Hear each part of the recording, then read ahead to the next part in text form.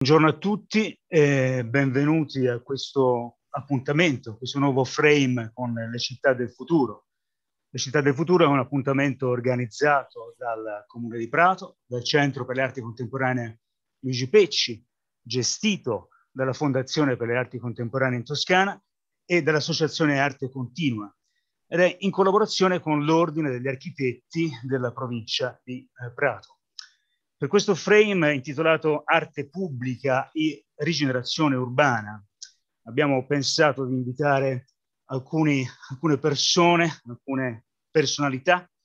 in grado di ragionare attorno a questo tema che abbiamo pensato di sintetizzare in modo piuttosto semplice. Ve li presento molto brevemente, non dopo aver detto che purtroppo la signora Reichling non può essere con noi, Lupezia Reichling, che aveva dato la propria disponibilità, e invece ha avuto un imprevisto delle ultime ore e ci manda semplicemente un saluto. Mi fa piacere ringraziare a nome di tutti gli organizzatori, a nome di tutti voi, eh, Messie Daniel Bureau, che ci fa l'onore di essere nostro eh, ospite, eh, artista che non ha bisogno della presentazione del sottoscritto, dell'assessore del Comune di Prato, perché è noto in tutto il mondo, che ha lavorato tantissimo anche in Italia ci auguriamo possa evidentemente continuare a farlo. Eh, ha lavorato in spazi pubblici eh, sovente, anche a pochi chilometri da qui, a Colle, Valdelsa o a La Spezia. L'anno scorso era a Bergamo nel momento più difficile probabilmente per eh, la pandemia. Poi c'è Michelangelo Giombini che è Head of Product Development della manifattura eh, Tabacchi, che è una eh, nuova eh, insediamento all'interno di un insediamento in realtà preesistente, quello appunto della storica manifattura tabacchi della città di Firenze, che sta dando eh, mostra di come una città eh, nata nel, nel, dal punto di vista del suo racconto diversi secoli fa sia assolutamente in grado di reinterpretarsi attraverso un connubio pubblico-privato che può essere un esempio per moltissimi. Abbiamo Mario Cristiani, che è presidente dell'Associazione Arte Continua, nonché ovviamente fondatore di Galleria eh, Continua, che è un po' il, anche il motore di questi, il primo innesco di questi incontri, e lo ringraziamo. Lorenzo Binismai, che è il presidente della Fondazione per le Arti Contemporanee in Toscana, dopo essere stato presidente di Palazzo Strozzi, economista eh, molto conosciuto. Presidente, buongiorno. Guido Poccianti, Managing Director di Eco Legacy, eh, ci fa piacere particolarmente perché eh, la sua presenza, perché è in grado di dare un, un punto di vista che per le istituzioni può essere estremamente, estremamente eh, importante e anche un po' eh, laterale, diciamo così, rispetto a quella che è la nostra visione eh, abituale. Eh, Stefano Pezzato, responsabile collezioni e archivi del Centro per l'Arte Contemporanea Luigi Pecci, in realtà è stato anche direttore in un periodo difficilissimo, tra l'altro, il, del Centro eh, Pecci. Eh, questo è il nostro panel di stamane, ringrazio tutti. Io direi che eh, possiamo partire con le eh, domande che il gruppo di lavoro che ho citato all'inizio ha messo su per i nostri ospiti. E partirei proprio da Messie Biron. Lei è un artista che ha lavorato come dicevamo, in tutto il mondo, anche molto in Oriente, non soltanto nelle città, nei comuni del nostro, della nostra eh, penisola. Eh, e la crescita del, del, di quest'area del mondo, dell'Oriente, ha conosciuto negli ultimi decenni uno sviluppo eh, industriale, urbano, demografico eh, molto, più, molto forte, molto impetuoso, senz'altro più, più impetuoso del nostro. Potrebbe comparare in qualche modo la sua esperienza in Oriente e in particolar modo, se volesse, eh, quella in Giappone, con eh, l'esperienza fatta da lei invece nelle nostre eh, città, è possibile individuare anche un solo codice in comune? Grazie. Buongiorno, buongiorno, buongiorno a tutti. E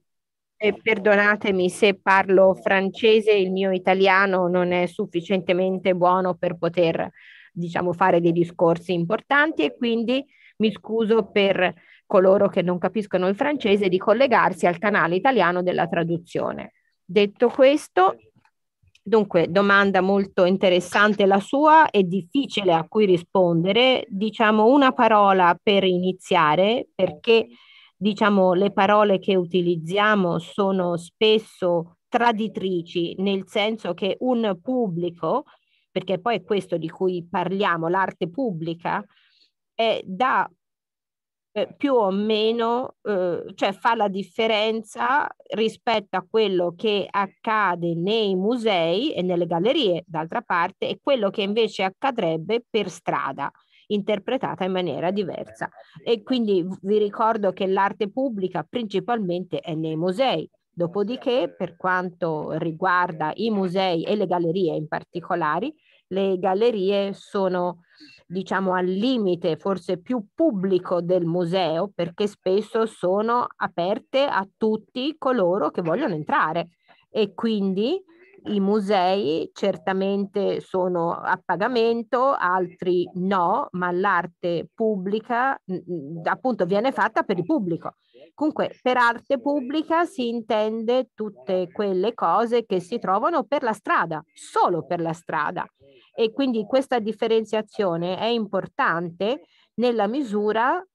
in cui direi l'arte, sia quello che accade per strada, sia quello che eh, diciamo accade nei musei, è tutto pubblico. Tutto. Detto, detto questo, pub- quando si parla di arte pubblica si dà l'impressione di parlare solo di cose che accadono nella sfera urbana, più, più diciamo direi più urbana che appunto rurale e che comunque intorno si parla proprio di queste cose qui. E quindi se è questo di cui si parla,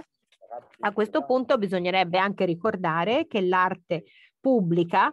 eh, questa arte appunto eh, fatta dagli artisti nello spazio urbano, eh, è un'arte antica, molto antica, che è stata quasi ignorata per tutto il XX secolo, addirittura diciamo fino agli anni Ottanta. E quindi per quanto la tradizione delle diverse produzioni artistiche che si possa chiamare, non so, come eh, diciamo scultura o pittura comunque è andata, sia andata avanti in Occidente senza alcuna interruzione da secoli, eh, prendiamo il Rinascimento come punto di partenza, ecco, a partire dalla fine del XIX secolo si può dire che l'arte di cui parlavo, diciamo l'arte pubblica, l'arte nella città, è quasi sparita dal, cioè, perché non, gli, gli, artisti non hanno avuto più la possibilità di lavorare nello spazio pubblico nel senso più ampio del termine. Le ragioni sono molteplici, questo tuttavia però non impedisce che non si è mai cercato di eh, promuoverla, le eccezioni sono chiaramente visibili, però le eccezioni sono di Mar- Marcel Duchamp, Van Drian e comunque tanti artisti del, del, del, del XX secolo, nessuno gli ha mai chiesto di fare qualcosa nello spazio pubblico. E quindi questa idea di chiedere agli artisti di lavorare in uno spazio pubblico, diciamo, è tornata all'ordine del giorno e quindi tutta la tradizione che era stata continua fino alla fine del XIX secolo è stata perduta. E quindi lavorare nello spazio pubblico per qualunque artista, e questo dalla fine del XX secolo, eh, quindi all'inizio degli anni Ottanta in altre parole, quindi ieri mattina praticamente, e niente, non è stata una novità eh, nel senso profondo del termine, ma era un qualcosa di cui tutte le eh,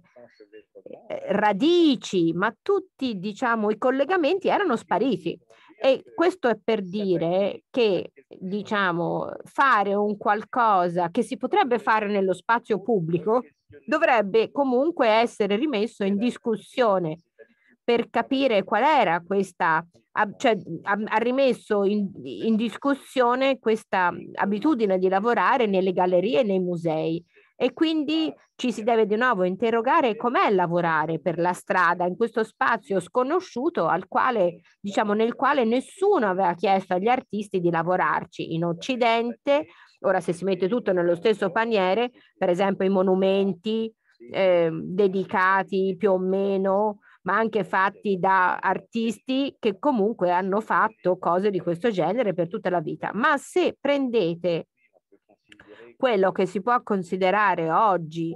come l'arte prodotta nel XX secolo, ci sono pochissimi esempi di lavori, di opere fatti da artisti importanti nello spazio pubblico per una motivazione molto semplice, perché non gli è mai stato chiesto. Quindi, eh, da una trentina d'anni, invece, quindi insomma in, da un tempo relativamente breve, si può dire che chiedere a degli artisti di lavorare in degli spazi pubblici, nelle città eh, e negli spazi urbani è una novità ed è questa novità che comunque diciamo ha, eh, è iniziata anche in Europa e poi si è diffusa in tutto il mondo e quindi ben dopo eh, quello che è accaduto eh, in Europa, in particolare in quella dell'occidentale, perché in questo senso che poi è arrivata anche negli Stati Uniti, ecco, dopodiché i paesi asiatici, a partire dal Giappone, anche loro si sono messi a eh, diciamo, ingaggiare degli artisti per lavorare nello spazio eh, pubblico. E quindi, eh, diciamo, eh, è un periodo in cui è abbastanza normale eh, banale invitare, grazie a dei concorsi, degli artisti per fare, eh, ad esempio, dei lavori, non so, di rinnovo, di eh, diciamo, di qualcosa che possa contribuire ad un monumento, mettiamo già esistente, invitando degli architetti. Ehm, e qui ci sono tutta una serie di cose che comunque sono già state fatte. Ehm, mettiamo all'inizio del progetto architettonico, spesso quando il progetto architettonico è terminato, poi si invitano degli artisti, non so, a contribuire e quindi è possibile tutta una serie di combinazioni diverse e in base alle diverse epoche, eh, diciamo eh, 15 anni dopo, mettiamo, dei paesi come il Giappone, anche loro si sono messi a, eh, in qualche, a eh, ingaggiare degli artisti per lavorare fuori dai musei e dalle gallerie. Ora non è facile fare comparazioni perché il sistema è molto diverso e la cultura sulle, sulle la, le culture sulle quali si basano questi paesi, ehm, diciamo culture dei paesi stessi che a volte sono in opposizione o in contraddizione oppure sono tradizionali, sono culture diverse. E quindi la situazione attuale hmm,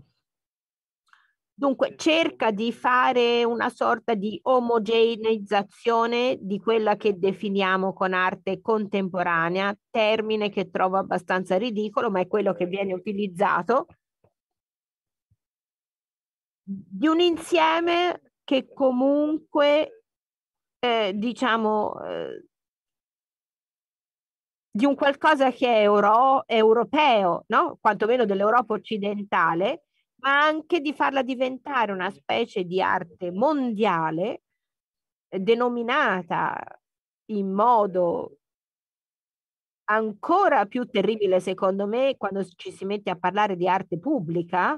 perché ci si dimentica che comunque abbiamo vissuto nell'arte pubblica e comunque ci viviamo ancora mettendo, entrando nel primo museo costruito che dà la possibilità al pubblico di vedere comunque arte visiva e quindi non possiamo far, diciamo, non includere un museo nell'arte pubblica. Comunque in questo momento si raggruppa un po' tutto quello che viene fatto all'interno, all'esterno, sotto il termine generale di arte contemporanea, che è ancora secondo me più pericoloso e da idioti eh, rispetto a quanto invece si, può, si potrebbe definire avviene come arte in strada. E poi ce ne sono comunque altre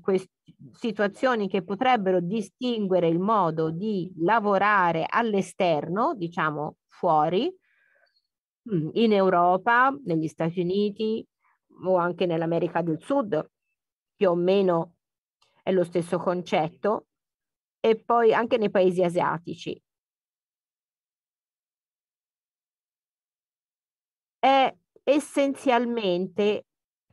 la cultura all'interno delle, della quale questi paesi si trovano. Io vedo principalmente gli effetti che sono appunto effetti direi quasi pratici. Se vorrei, se, cioè per definire una differenza tra un'opera che si può fare in una delle grandi città e quindi per fare delle comparazioni che non sono assurde che non siano assurde, mettiamo in città, in grandi città che siano, non so, capitali europee oppure le grandi città americane o che potrebbero anche essere le grandi città giapponesi, è che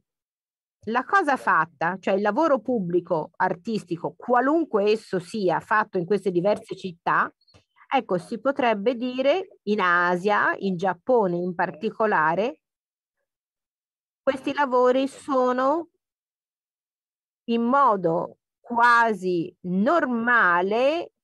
rispettati dalle persone che ci camminano accanto, eh, senza essere sorvegliati o protetti dalla polizia, mettiamo, mentre invece forse spesso diciamo, in altri luoghi eh, le opere pubbliche in, in, spazi urbani sono spesso danneggiati dal pubblico. Eh, forse perché in alcune società c'è una mancanza di rispetto, di tolleranza di fronte a cose che per esempio uno non ama quando cammina per la strada e vede qualcosa. Io credo che sia questa una delle grandi differenze, perché se si parla di arte pubblica e quindi arte urbana in generale, non si può non parlare, e sicuramente ne parleremo anche più dopo nella discussione, non possiamo evitare di parlare della manutenzione delle opere Ora, nel museo, altro luogo, altro luogo di arte pubblica, la manutenzione viene assicurata dal museo, quindi un museo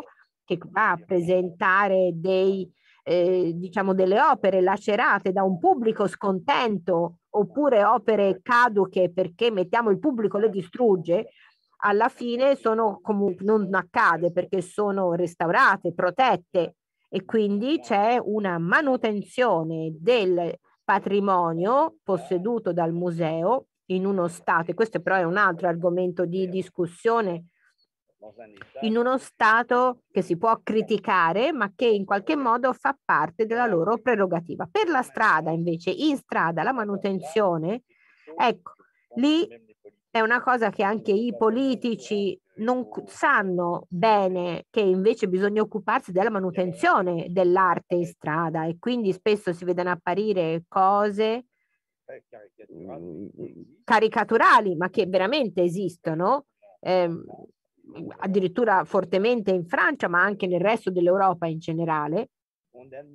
Eh, dunque, bisogna fare la manutenzione di un'opera, di una statua di arte pubblica, mettiamo del XVIII, del XIX secolo, ma un'opera appena creata che è stata comunque, diciamo, richiesta all'artista,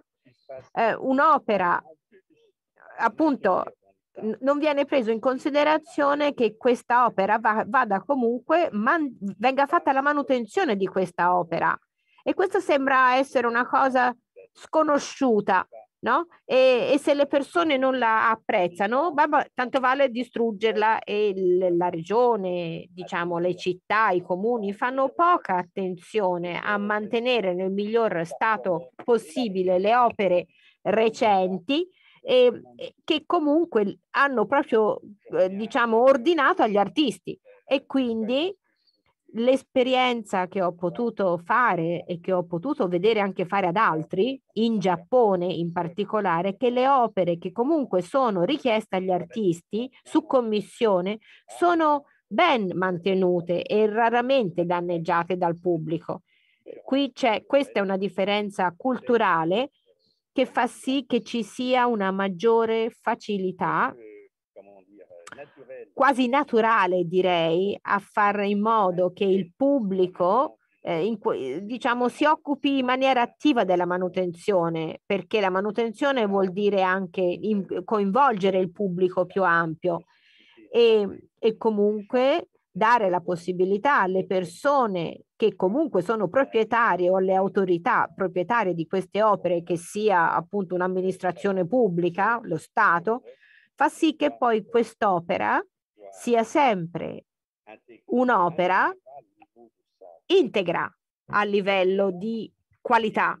primaria e che non venga demolita, non venga danneggiata dalle intemperie, dal vandalismo, ammesso che esista, eccetera, eccetera. Io credo che questa sia una delle cose più cruciali. Se si desidera che le opere pubbliche nello spazio pubblico possano continuare ad essere fatte e da trasformare in maniera molto positiva questo famoso spazio urbano condiviso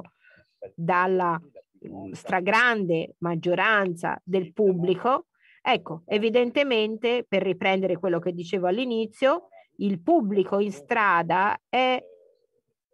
molto più, diciamo, variegato, eh, condi- con tante culture diverse, ma anche con tanti livelli societari diversi del rispetto al pubblico dei musei, perché comunque il pubblico del museo non è, così, è diverso rispetto al pubblico della strada, quindi le, diver- le differenze ci sono a tutti i livelli, a tutti i livelli. E per l'artista queste differenze fanno sì che, io parlo per me,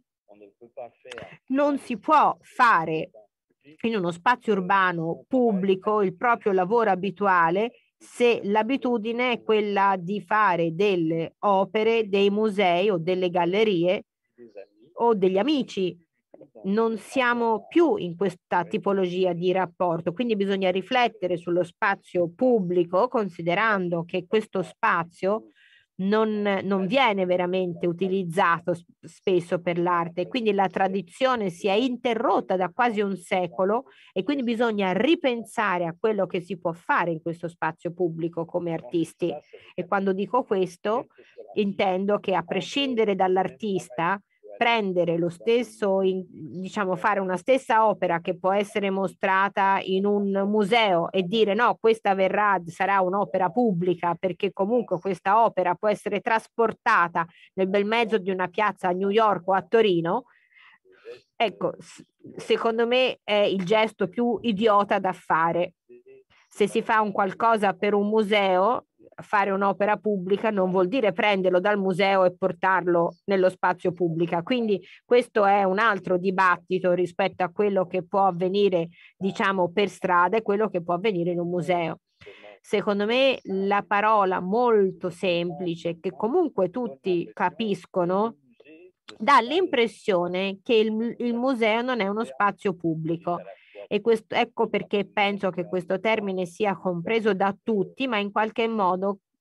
camuff, cioè camuffa un qualcosa che è molto importante, e cioè quello di relegare un museo in uno spazio riservato a chissà quale elite che ha il diritto di andare, mentre il resto della popolazione viene escluso. E invece tutto questo è sbagliato, è falso, anche se nella realtà ci sono più persone che prendono il metro a Parigi ehm, che hanno acceduto appunto eh, di, rispetto a quelle che hanno acceduto al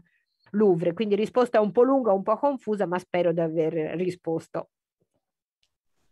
Grazie a Daniele Duran per molte sollecitazioni e anche giustamente per aver messo sotto accusa, lo dico sorridendo, il titolo Arte pubblica e rigenerazione urbana, nel senso di aver esplicitato il fatto che l'arte pubblica, ovviamente anche quella che sembra racchiusa e inscatolata nei musei, ma è assolutamente uno dei, dei temi eh, più interessanti della sua relazione. Poi ci torneremo sopra anche con gli altri ospiti. Grazie davvero. Lorenzo Benismaghi, presidente della Fondazione per l'Arte Contemporanea in Toscana. Eh, eh, la, sua, la, domanda che abbiamo pensato per, per lei è questa ed è eh, si aggancerà poi a quello di cui ha parlato Daniel Buren eh, dal punto di vista del rapporto tra l'arte pubblica, per l'appunto eh, urbana, l'arte pubblica dentro i musei e l'arte pubblica invece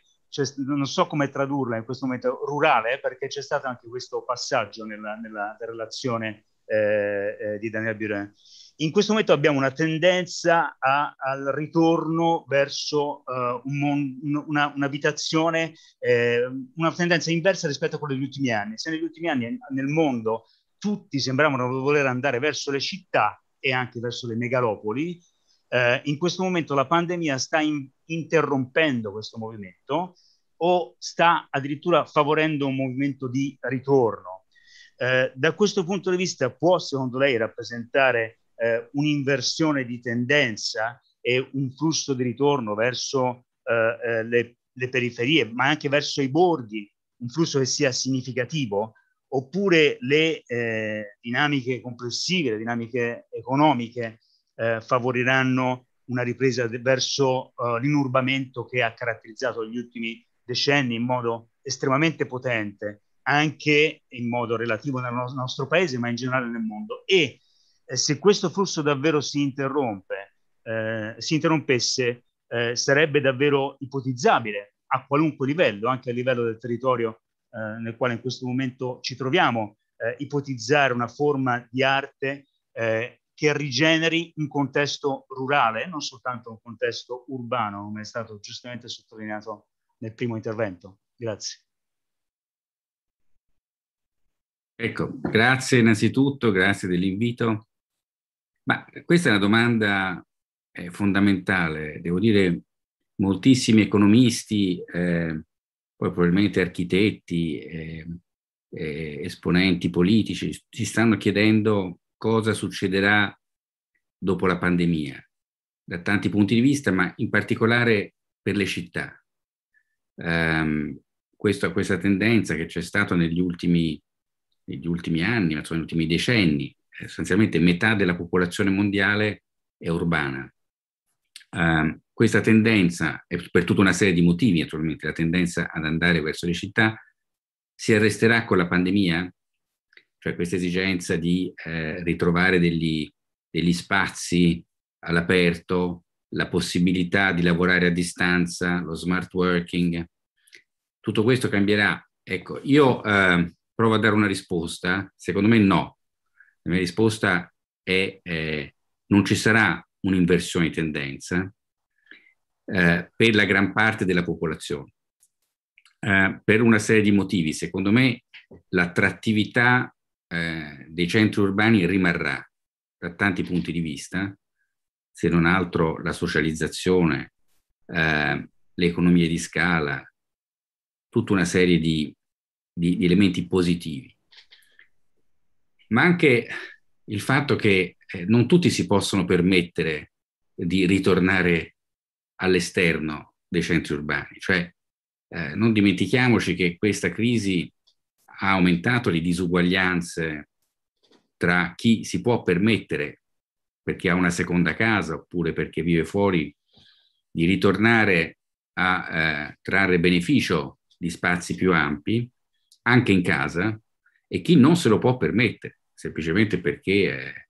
per motivi di reddito che magari sono peggiorati durante la crisi, per motivi di spazio, familiari,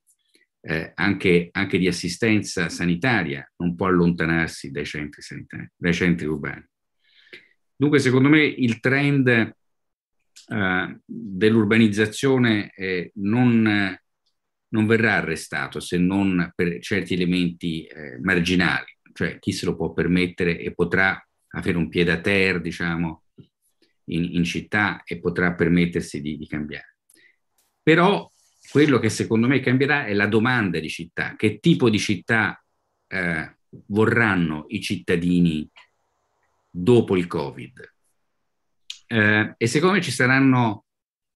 dei cambiamenti importanti che, eh,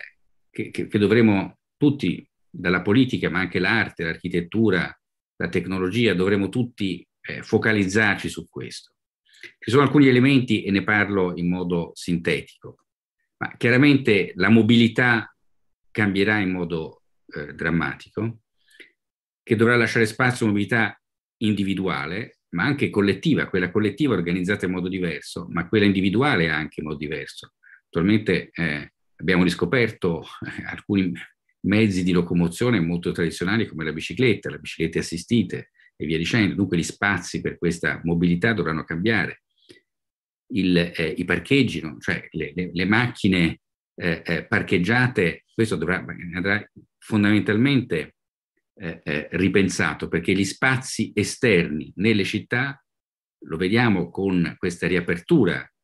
che dovrebbe iniziare lunedì, gli spazi esterni intorno ai ristoranti, agli uffici pubblici, diventano, hanno un valore diverso rispetto al passato. E dunque bisognerà creare degli spazi diversi anche per le attività commerciali, ma anche per le attività culturali, l'intrattenimento. Bisognerà cominciare a ritornare verso le, spa- le, le, le, piazze, ma anche le strade. Cioè, dirò un concetto eh, forse assurdo, ma i marciapiedi. I marciapiedi delle nostre città, per esempio, sono troppo piccoli non si riesce a camminare, non si riesce, cioè se si vuole evitare gli assembramenti, bisogna creare degli spazi diversi, ripensare alcuni spazi eh, eh, eh, esterni e eh, anche la, la, la, la, volontà, il desiderio di vivere in modo diverso questi, questi spazi, che non sono più solo spazi di transizione, ma sono spazi dove si vive, si vivrà eh, eh, una vita diversa. Poi c'è la connettività, naturalmente, la connettività, le smart, le smart cities, questo è il, il, tracing che sarà necessario per lottare le prossi, contro le prossime pandemie. Sappiamo, come abbiamo visto in alcuni paesi dell'Asia in particolare, ma Israele e via dicendo, che una volta anche finita la, eh, la, la, la parte vaccinale, bisognerà eh, avere la possibilità, in caso di ritorno di una pandemia, di tracciare le persone, evitare dei lockdown che sono devastanti. L'unico modo per evitare il lockdown è il tracing delle persone, in modo che appena qualcuno si infetta può essere, può essere isolato. Quello che è sicuro è che è, è, chi esce sconfitta forse da questa crisi è la, la, la, la monofunzionalità, cioè eh, gli spazi allocati a funzioni specifiche, cioè il centro storico dove ci sono i musei, il centro commerciale dove ci sono i grandi magazzini, il centro dove ci sono gli uffici, i centri dove, cioè la parte delle città dove ci sono le abitazioni. Tutta questa specializzazione con una mobilità diversa va ripensata. Forse si dovrà tornare a delle città più simili a quelle eh, eh, del passato, dove c'è una maggiore interazione tra eh, le varie attività del lavoro,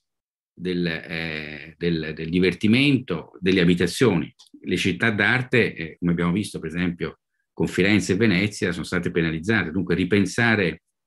la, la, la connettività anche tra le attività eh, delle persone sarà fondamentale.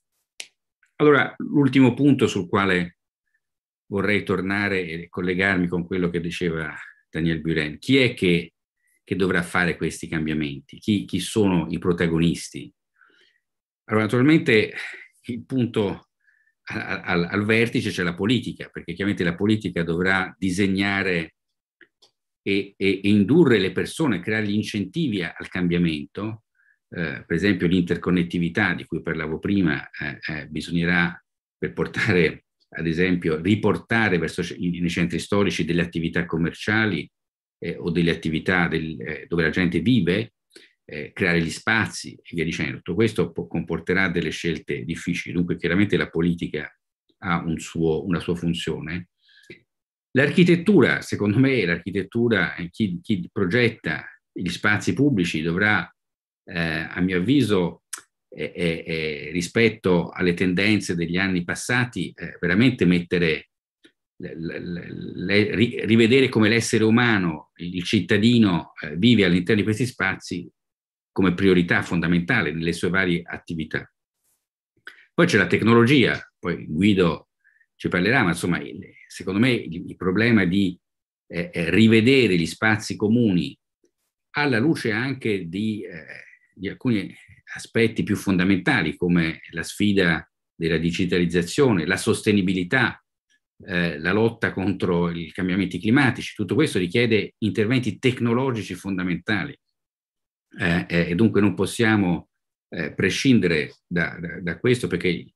il, eh, ci salveremo solo, a mio avviso, con la, con la tecnologia, l'idea che eh, ci salveremo e salveremo il nostro pianeta solo andando tutti a piedi o in bicicletta è un po', è un po limitante.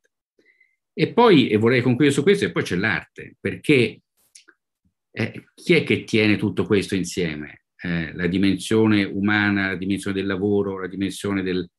eh, eh dello stimolo al, eh, eh, all'osservazione, alla riflessione, a guardare al futuro. Tutto, tutto, questo può essere possibile se al centro di questi progetti c'è l'arte. non è pensabile, ad esempio, l'idea di, di vivere in dei contesti dove gli spazi esterni, per tornare a quello che diceva gli spazi esterni diventano molto più importanti. E, e l'abitazione è importante e va ripensata in, in, vista della digitalizzazione, della capacità di lavorare, ma anche lo spazio esterno va ripensato. E quando eh, l'essere umano, la famiglia, la persona esce per la strada, deve sentire questo spazio come suo. E, paradossalmente forse non lo deve sentire come un museo, ma lo deve sentire come qualcosa che protegge, cioè come io immagino eh, chi esce da, dalla piazza di Colle Valdelsa, eh, quella, quella, quella, lì, eh, non lo so se è un museo o è uno spazio suo, io quando ci vado lo sento quasi come mio e lo rispetto, non lo vandalizzo proprio perché è mio, perché fa parte della, del piacere che io ho quando esco di casa perché devo uscire di casa e non posso stare chiuso tutto il tempo in caso in cui c'è una pandemia. E, e, dunque il legame, per finire, il legame fondamentale che diceva Guiren tra il museo e lo spazio pubblico, eh, a, mio, a, mio, avviso, è la chiave. E questo io poi torno all'assessore alla cultura. A Prato abbiamo il Pecci, abbiamo uno degli spazi eh, eh, fondamentali, bellissimi, che vanno ripensati, riportati alla dimensione umana e dunque credo che l'autoinvito che si è fatto Buren di venire a Prato non possiamo che accettarlo oggi, anzi dobbiamo subito chiuderli, chiuderlo eh, eh, a Prato virtualmente in modo che possa essere parte del, di questo progetto eh, eh che, che, che, noi come Peci sicuramente eh, eh, ci sentiamo di portare avanti, di essere al centro di, questo, di, di questa visione nuova della città. Grazie. Grazie Presidente. l'invito è, come, è assolutamente sottoscritto. Um, adesso la domanda uh, a Michelangelo Giombini, al Head of Product Development di Manifattura Tabacchi. Manifattura Tabacchi sta affrontando come tutti il uh, Covid, del quale ha parlato adesso. Eh, e visto che si propone di essere un luogo di eh, ispirazione in qualche modo, di promozione ma di produzione anche eh, culturale, in una relazione con la città che è nel fatto di essere nata, già nel fatto di essere nata dentro Manifattura Tabacchi, no? come eh, esperienza, eh, e dall'altra come anche congiunzione o condivisione con il mondo eh, dell'impresa e con, con il mondo della creatività che lavora dentro il mondo dell'impresa. Eh, in questa fase eh, la riflessione che sta facendo Manifattura Tabacchi eh, in questa fase pandemica eh, sulle città d'arte, eh, in una fase in cui il mondo sembra essere stretto progressivamente da una, da una morsa che in questo momento si sta forse un pochino allentando, eh, che tipo di, di, di, di, ispirazione vi sta dando? Come state cambiando il vostro lavoro? In relazione alla vostra presenza fisica all'interno di una città che poi è stata, eh, come dire, eh, oggetto tra l'altro per decenni, no? di un, voi siete il punto di caduta di un ragionamento lungo su manifatture tabacchi. Sì, grazie, grazie mille. Beh, inizio subito ringraziando per l'invito, naturalmente, e anche un panel così importante. Saluto Messie Buren e spero veramente di vederlo a Prato. Eh, Manifattura Travaglio è molto tra Firenze e Prato in questo momento. Eh, comunque, grazie per la domanda che è molto complessa, eh, perché poi noi eh, lavoriamo, diciamo, su due, eh, su due, livelli, naturalmente. Per chi non lo sapesse, eh, io, diciamo, rappresento la società che trasforma la manifattura tabacchi, l'ex manifattura tabacchi, che è una grande fabbrica molto, molto bella, costruita negli anni 30 alle porte, alle porte di Firenze una fabbrica, quindi eh, assolutamente un, eh, diciamo un buco nel, nel, tessuto della città eh, che eh, fino a poco tempo fa eh, nessuno conosceva, ad eccezione di quelli che ci hanno eh, lavorato per oltre 70 anni. Ehm, ecco, dicevo, eh, lavoriamo su due, su due, livelli perché da una parte c'è il, diciamo, la trasformazione, quindi lo sviluppo e dall'altro c'è invece diciamo un po' la caratteristica che abbiamo voluto ehm, dare al, al, nostro lavoro che è quello della, diciamo, di un intervento anzitempo, della, dell'attività diciamo, di, eh, eh, di, attivazione di questi spazi eh, che, sono, che sono tanti eccezionali, come dicevo, e eh, visto che eh, citava il, diciamo, il, il, Covid, comunque non si può prescindere diciamo, dal parlare eh, di, questa, di, questa, situazione diciamo, indotta dalla, dalla, pandemia. Ecco, spazi che ehm,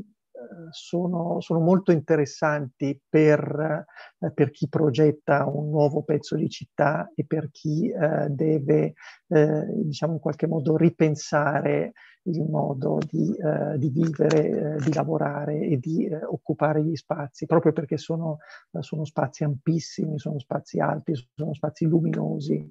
sono spazi caratterizzati da grandissime vetrate, non hanno,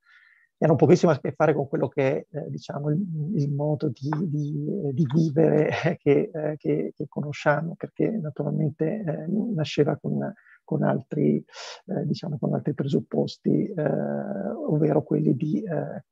produrre, e nello specifico produrre i sigari e le, e le sigarette. Um, prendo un po' lo spunto da quello che eh, ho sentito dalle, dalle, parole di Messé Borin e del dottor Bini Smaghi, um, dicendo che noi partiamo eh, diciamo, soprattutto dal, dal, dal, fatto che siamo in periferia, quindi siamo nella periferia di una città eccezionale come Firenze, città d'arte, città d'arte che soffre eh, tantissimo in, in, questo momento e eh, diciamo, eh, ha mostrato anche tutta la, la debolezza no, di, questo, di questo sistema. Uh, quindi da città diciamo, uh, del patrimonio uh, mondiale della, della, cultura, dell'arte, dell'architettura a una città svuotata diciamo, di, del, diciamo, di, di, persone che, che, ha una, che, ha una, vita tesa al momento in cui questo, questo meccanismo potrà, potrà riprendere. Lavorare in periferia da, eh, delle, eh, dalle opportunità a prescindere, perché eh, soprattutto nel caso di, di, Firenze, dove il centro è così denso appunto di, questi, di questa storia centenaria e del, del peso della, eh, della, cultura e dell'arte, eh, si può eh,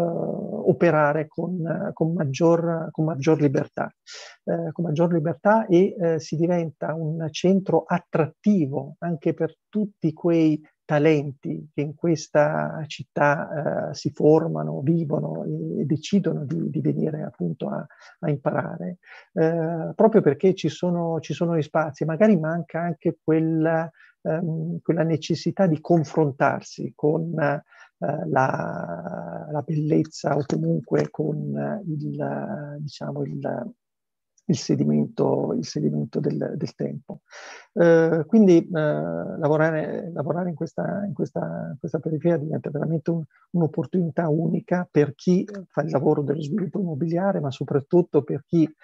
poi come me ha il privilegio di inventarsi in qualche modo il, um, un, nuovo, un, nuovo, luogo, no? Destin- una nuova destinazione per, per, la città e per tutti quelli che transitano da, uh, da Firenze. Quindi uh, da, da, questa, da, questa, situazione, eh, che, che, poi è stata anche eh, in qualche modo amplificata diciamo, dalla, dalla, dall'emergenza pandemica, eh, eh, abbiamo deciso di ehm, animare questi, questi, luoghi vuoti con, con un progetto che noi, e mi mi collego appunto anche al, al dibattito diciamo sul, sul, museo e sulla relazione con lo spazio pubblico, ecco, inve- un, quello che noi chiamiamo il non museo,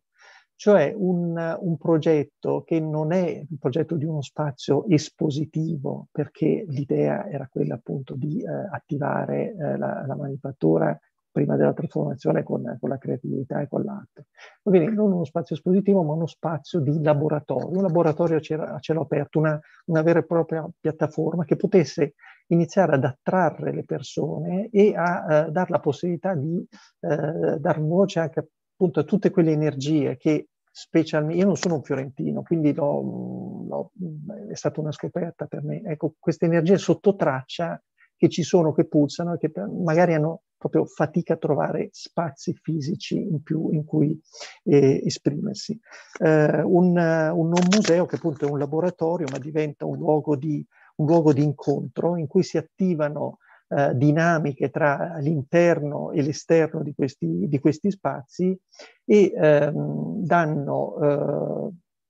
diciamo, la possibilità, danno vita a una coabitazione di linguaggi, di linguaggi diversi e eh, di ehm, diciamo, approcci assolutamente ehm,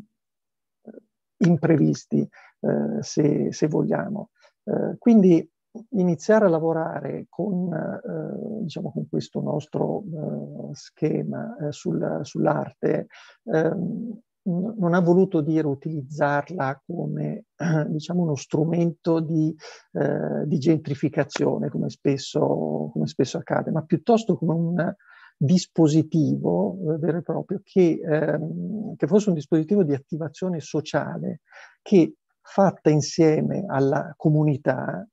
diventa un, un processo partecipativo che eh, coinvolge poi le personalità creative del luogo nelle, nelle immediate vicinanze, ma poi si allarga anche, eh, anche al territorio. Proprio in questo momento stiamo eh, lavorando a un, un progetto che eh, abbiamo chiamato eh, Super Blast, è una um, chiamata alle arti. Eh, tra l'altro ringrazio anche l'amico Mario Cristiani per il suo contributo sempre eh, di, di, grande ispirazione che ha accettato di, di, aiutarci in questa cosa. Abbiamo raccolto con questo bando più di, eh, più di 700, eh, più di 700 appunto, eh, risposte da artisti da tutto il mondo e adesso siamo a una short list molto, molto affascinante. Veramente non, non aspettiamo l'ora di poter iniziare a lavorare. Quindi eh, questo, eh, diciamo questo, questo, sforzo no, di, eh, di, di, di, cercare di essere un, un collettore nuovo, siamo gli ultimi arrivati, quindi per noi è difficile sicuramente farlo, però siamo, abbiamo sicuramente un'energia un'energia fresca. Eh, ecco, questo, eh, lo sforzo di far diventare questo luogo un, un collettore finalmente si, eh, si, si rifica, si, eh, si eh, succede. Um, un'ultima cosa, eh, parlavamo appunto del, del, del, della città, il dottor Binismaghi parlava eh, di città, di ripensare le funzioni, di ripensare le relazioni tra le, tra le funzioni. Qui mi sposto per condividere magari anche un po' la, la, nostra, la nostra, idea di, uh, di, di, di, sviluppo, di trasformazione, di rigenerazione urbana, no? come, si, come, si, dice. Eh, questo, uh, questa, questa, ex fabbrica, no? che è una, una fabbrica enorme, sono più di, più di 15 edifici disposti su, su 7 ettari di, di, di, terreno, un vero e proprio nuovo quartiere. Lo abbiamo pensato come un, un vero e proprio mix eh, funzionale dove ci saranno eh, gli atelier, i laboratori dei, dei, creativi che adesso abbiamo raccolto in spazi temporanei ma che stiamo eh, cercando di portare nel progetto, nel progetto permanente eh, con eh, diciamo, grande collaborazione da parte, da parte loro e di tutta questa, diciamo, questa nuvola di, di, eh, di, di, menti, di persone che si sta raccogliendo al nostro progetto, ma poi anche eh, scuole, abbiamo già una scuola operativa, Polimoda, una scuola prestigiosissima di, moda con, con 800 studenti da tutto il mondo, eh, lo studentato, le residenze, eh, i, i, luoghi per il lavoro, no? magari pensato come un lavoro più, eh, più informale, per co-working, per start-up, sempre nel, eh, così, nel, nel solco diciamo, de, della grande flessibilità e di una certa contemporaneità che adesso chiaramente dobbiamo, eh, dobbiamo ridefinire. Eh, ecco, mh, mm, so, magari eh, è difficile tra- trasferire un po' eh, così in pochi minuti quello che è la, la nostra visione, ma sicuramente cerchiamo di, eh, eh, di, di, di, dare un senso a questo, a questo progetto. L'arte e la creatività eh, sono il, il backbone di, questa, questa, di questa iniziativa e adesso nella fase temporanea, ma sicuramente anche in quella, eh, in quella permanente, e eh, il fatto di poterlo fare a Firenze lo rende di per sé eh, una cosa eccezionale. Grazie. Grazie Michelangelo Giombini, ci rivedremo a Manifattura Tabacchi, ovviamente. Eh, Mario Cristiani, eh, voi siete nati in, in Valdelsa, no? Quindi siete nati in quei borghi che una parte del discorso pubblico oggi individua essere come eh, un, un parte integrante del nostro, del nostro uh, futuro. Eh, è davvero così? È un po' una domanda simile a quella fatta al presidente Binismaghi eh, poco fa, però da un punto di vista che è eh, di eh, un gallerista che ha quindi un altro punto di vista e che eh, non è evidentemente quello di mente pubblico, di uno che si è messo, ha rischiato in, pro- in, in, in nome proprio ed è andato per l'appunto in Valdese, San Gimignano, a caso. È, è davvero sì, c'è davvero questo percorso di ritorno oppure è una forma di, eh, di, di, retorica del discorso pubblico, oppure c'è il rischio di cui parlava Giombini eh, nel suo intervento tra le righe, ha parlato di gentrificazione, quindi andiamo ad innestarsi in un contesto disinteressandone. Questa è ovviamente una veramente modestissima provocazione. Prego. Grazie Simone, grazie a tutti per eh, essere qui e anche per eh, appunto, condividere questi pensieri, questo tentativo di ripensare la città. Infatti il, pro- il progetto si chiama Città del Futuro un po' ispirata a questo amico, insomma, Luciano Pistoi che ci ha guidato un po' all'inizio con Maurizio Di Gillo Lorenzo Fiaschi, no? che organizzava questo progetto al castello di Volpaia e ci parlava sempre delle città del futuro. Eh, poi appunto lui eh, nel 95 ha avuto, è morto e quindi ci ha lasciato un po' questa idea di tenere insieme quello che veniva realizzato nelle grandi città come pensiero eh, rapportato appunto a queste piccole dimensioni poi in cui il contatto personale era molto forte. Io ho una formazione, diciamo, non dall'arte, io vengo dalla politica, cioè avrei fatto, diciamo, il politico se non fosse successo questo episodio anche della fine della vita di questo amico che ha creduto moltissimo in noi tre quando noi non eravamo nessuno. Noi siamo nati appunto con tre pensieri e poi ci siamo uniti intorno alla questione dell'arte perché era la cosa che ci permetteva di stare insieme, di continuare a fare un po' i nostri sogni e di portarli un po' in giro per il mondo, come poi abbiamo fatto successivamente. Per noi la dimensione è sempre stata quella del livello internazionale, pur essendo stati... Io sono cresciuto a Poggiponzi, ma sono nato in provincia di Avellino, in un paese di montagna, quindi vengo diciamo da esterno in queste piccole città e poi vado a Poggivonzi, non a San Gimignano a caso. A me piaceva andare a San Gimignano perché San Gimignano mi confortava non avendo possibilità diciamo di accedere a casa mia alle opere d'arte che potevo trovare lì. In questo senso, diciamo, è nata la galleria, è nata l'associazione culturale noi abbiamo tentato con Maurizio e Lorenzo di eh, prendere un po' ad esempio quello che era il discorso di Olivetti, no? chiaramente io avevo studiato sociologia del lavoro, quindi conoscevo quel tipo di, di impostazione in cui, diciamo così, l'imprenditore è un po' come un intellettuale, diciamo, di una comunità, cerca di fare in modo che quella comunità non rimanga piantata su un livello, diciamo, scadente, su un livello diciamo meno del potenziale che avrebbe. Il progetto diciamo, su cui noi abbiamo insistito sia come attività diciamo, di galleria e quindi questo confronto con il, con il livello internazionale più che locale e quello che poi abbiamo sviluppato con l'associazione culturale, quindi con il progetto di arte all'arte, era un tentativo di ripensare il rapporto tra città e campagna, cioè ogni stadio della globalizzazione, perché la globalizzazione, tra parentesi, se si vuole, il colonialismo lo facevano anche i greci, lo facevano anche prima. Ogni stadio di questo cambiamento, secondo me, cambia il rapporto tra la città e la campagna. E quindi, siccome io ho studiato, diciamo, altre cose da quelle che erano più specifiche dell'arte, i pensieri di Samir Amin o di, quindi sullo sviluppo autocentrato o quelle di Robert Goldsmith sul globalismo che erano la mia diciamo quotidianità quando facevo politica mi portavano a ripensare diciamo a qualcosa che potesse andare al di là del colonialismo cioè in qualche maniera diciamo il Rinascimento è stato l'inizio con l'idea del progresso, quindi con la prospettiva che hanno fatto gli artisti, hanno generato un altro tempo da quello precedente. Cioè non c'è ben stato più, diciamo, l'idea di, di ripetere il tempo, è stata quella di pensare da un punto di vista verso il futuro. Senza il concetto di futuro, senza il concetto della prospettiva, senza la rivoluzione che hanno fatto gli artisti. E l'hanno fatta in questi piccoli borghi, perché a San Gimignano c'è stato Benozzo Gozzoli, che era uno dei massimi dei, dei medici,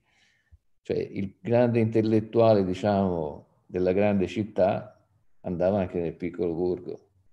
Quindi quello che abbiamo tentato di fare noi tre, diciamo, la nostra attività privata e non profit, è stato quello di ripensare, in questo qui mi ricollego un po' a quello che diceva Daniele, cioè noi abbiamo cercato i grandi intellettuali nei termini di Gramsci, cioè di, chi ispira gli altri, chi guida gli altri a ripensare degli spazi dove stavano tutti, portandoli dentro questi piccoli posti perché lì il rapporto tra l'artista di prima e l'artista di adesso è diretto. A parte Poggi Ponzi, che è entrato dentro il progetto di arte all'arte dopo, ma che è anche l'obiettivo. Cioè, è anche il motivo per cui per me è stato affascinante, grazie a Lorenzo, venire a Prato e scoprire lì a Prato quello che state facendo voi col comune, cioè la riforestazione urbana, il discorso sulle nuove tecnologie, il centro Pecci che si riprende un po' nel rapporto con la città, quindi non un posto isolato che è il rischio del museo, ma una specie di cervello, diciamo, che ragiona sulla rigenerazione dello spazio collettivo. L'attività che possiamo fare noi con il non profit quando agiamo nello spazio pubblico, perché deve essere chiaro, quando andiamo nel, nello spazio pubblico non prendiamo diciamo, i profit che prendiamo quando facciamo la nostra attività, che è quella che ci permette poi di andare avanti personalmente e anche di mantenere i posti di lavoro delle persone che lavorano con noi. Questo è stato affascinante, per me questo è affascinante di quello che stiamo tentando di fare tra Firenze e Prato, perché appunto grazie poi anche a questo incontro che ho avuto con ehm, Michelangelo e con la manifattura tabacchi, finalmente anche si esce fuori da quest'ottica, diciamo, di contrapposizione tra una città e un'altra, tra un posto e l'altro, eccetera, no? E quindi, diciamo così, il tentativo è quello proprio di entrare nella realtà e anche, come dire, come proponeva il problema Daniele, no? Cioè, cioè, è un fatto di rispetto, quello che riguarda tutti. Cioè, noi stiamo in un posto dove siamo tutti coinvolti. Cioè, magari l'artista ci fa capire che quello non è, come diceva prima anche Lorenzo, un posto che non ti riguarda, perché te ci stai bene. Se te vai in un posto che ha fatto un artista, io quando andavo a San Gimignano, quando nella piazza lì a Colle, per quanto sia scassata e mi dispiace, mi scuso perché sto tentando col comune di farla rimettere a posto la casa di Accordo, però chiaramente ci vuole risorse, tempo, quindi ci, vogliono soldi pubblici, soldi privati, educazione. Cioè è un modo per permettere alla gente di ristare insieme, di creare una nuova comunità e uscire da questa idea colonialista che in qualche modo diciamo è quella che ha unito il mondo, ma se noi la lasciamo a mezzo, cioè generare il colonialismo di qualcun altro su di noi io praticamente ho cominciato questo lavoro anche perché ho visto, diciamo così, da Oriente arrivare un'ondata economica che può mangiare tutto e, come dire, hanno altri principi, anche più giusti in certi casi, ma anche più sbagliati in altri. Non è che tutto quello che viene dall'Occidente non va bene. Dall'Occidente sono venute cose bellissime anche, la libertà, la bellezza, non è che è tutto, cioè, siamo stati dei dominatori, siamo stati dei grandi predatori, ma abbiamo anche una coscienza, una, un potenziale di miglioramento della vita dell'umanità che è importante che rimanga. Per questo anche per me è stato importante andare in Cina, portare in Cina gli artisti che magari i punti di vista, i punti di vista, le finestre sul, su, sul futuro che magari lì non c'erano. Cioè è importante, come dire, superare questa dimensione di auto, come dire, di auto eh, glorificazione e ripensare il mondo globalmente. E farlo nei piccoli centri sicuramente lo rende più evidente. È importante che chi sta in un posto e lo abita, è vero quello che dice Lorenzo, però noi ogni volta che piove ci ritroviamo disastri incredibili, disastri incredibili perché abbiamo costruito lungo fiumi, cioè nel senso lo spazio è quello, o stai anche nelle montagne e riesci a trovare un modo per starci, oppure quando piove la città si allaga, si sfonda. Quindi dobbiamo riequilibrare tutto, per questo il discorso della riforestazione urbana che viene fatto lì e di ripensare la città, ricreando anche delle, come dire, dei borghi dentro la città, delle alleanze di territori un po' più allargate. Cioè, gli artisti lo vedono già, lo fanno già, per questo è importante seguirli, però per me è fondamentale seguire, diciamo così, questo livello di internazionalità, perché la selezione per arrivare a essere conosciuto da quelli che non conosci è determinante non possiamo prendere chiunque a farlo, farlo andare dovunque, potrebbe fare grandissimi danni che pagheremmo carissimi in poco tempo. Quindi niente, con Guido anche faremo cose, spero presto, che miglioreranno da privati e anche per il pubblico, con un'azione anche non profit, quindi combinata pubblico-privata, e quindi poi ne parlerà lui, insomma, però possiamo fare subito cose che andrebbero fatte subito, non abbiamo più tanto tempo per aspettare. Spero di non essere stato troppo confuso nel discorso, spero di aver dato un'idea che forse può essere interessante. Grazie. No, non direi, non direi confuso assolutamente, grazie a Mario Cristiani. Parlava, ha parlato molto di internazionalità nel suo eh, intervento e quindi eh, cade perfettamente eh, il prossimo intervento di Guido Poccianti, Managing Director di Eco Legacy. Voi avete nella vostra ragione sociale la parola eh, eredità, no? che poi può essere anche diversamente eh, declinata pensando a, a, heritage che è eh, patrimonio, ma è anche per l'appunto quello che eh, resta. nella vostra esperienza di, di, di, di oltre cinque lustri, di un quarto di secolo, eh, come eh, pensate di